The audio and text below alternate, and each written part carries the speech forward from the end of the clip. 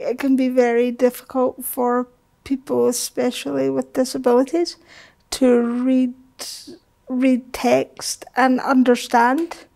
So it's easier for me personally if I can watch it come to life and watch it watch like a wee film of it and it makes more sense. It goes in it goes in better. Whereas with text it's very much like homework for me. I get I get um, not bored, but I lose interest.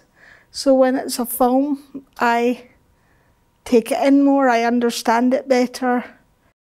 We have the right to understand as much health information as everybody else. We just need to go about it in a different way